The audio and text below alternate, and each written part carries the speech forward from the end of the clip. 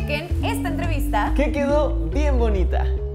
A mujer honrada. Su propia estima le basta, familia del dicho. Yo soy Nuria y estamos con Arturo Vázquez. Qué Hola. gusto verte por aquí de nuevo. Qué linda, gracias. Qué ¿Nuria padre. o Nuria? Nuria. Oh, Nuria.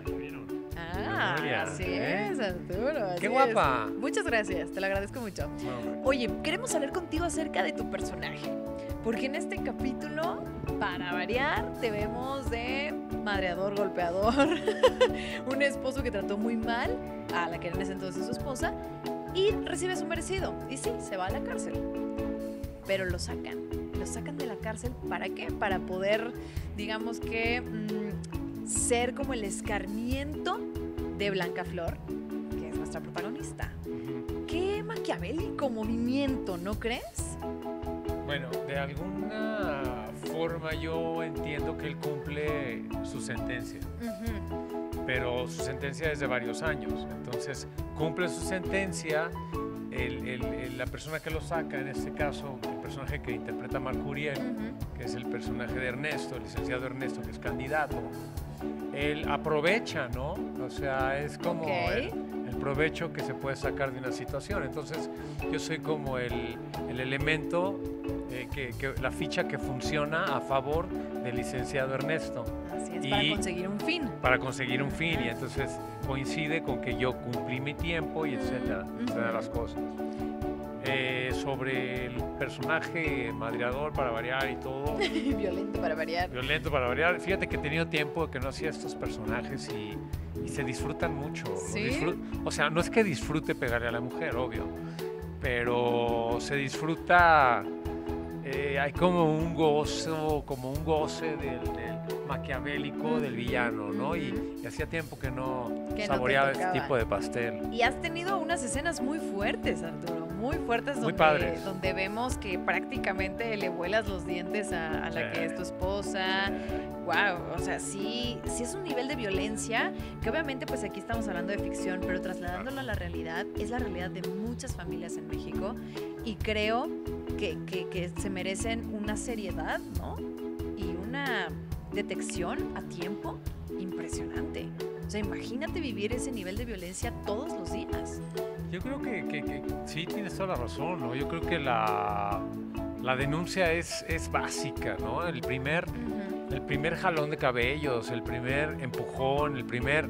Es como una llamada de atención, es una alerta.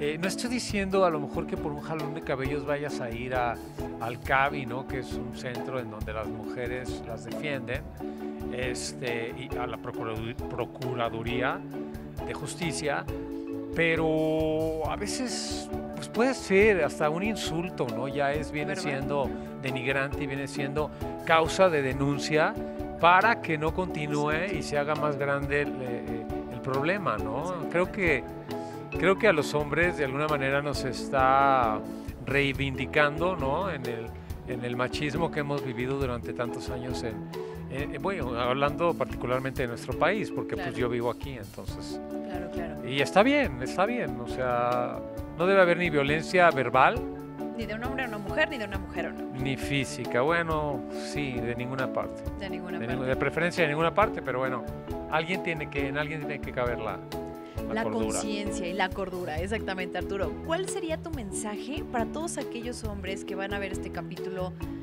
y son hombres violentos y son hombres que tratan de esa forma a su esposa y que siempre quieren aprovecharse de ella? Híjole, tú como hombre también, eso lo repudias, eso lo ves mal. ¿Qué le, qué le dices a ellos? ¿Qué lo hacen?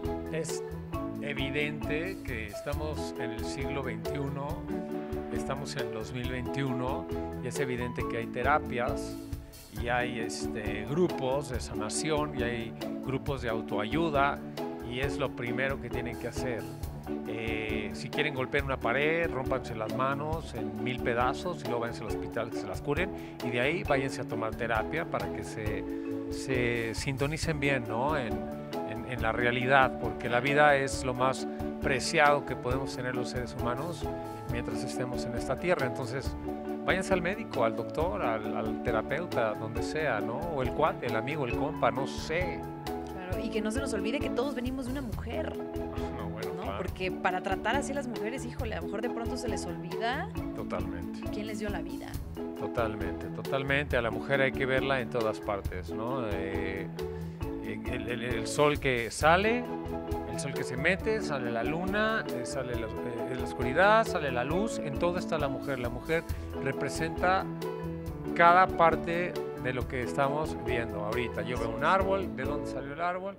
Es un, eh, lo engendró un- un- una matriz, o sea, todos venimos De algo. de ustedes, soy de ustedes, de la mujer, en este caso de la mujer. Todos, todos, absolutamente, ¿no? Hasta el ladrillo viene de la arena, de la tierra. De algo femenino, por así decirlo. Algo femenino, sí, sí, muy bien. Así Muchas es. gracias Arturo por estas palabras, por la entrevista. Te vamos a odiar un poco en tu personaje, pero que sepan que es ficción.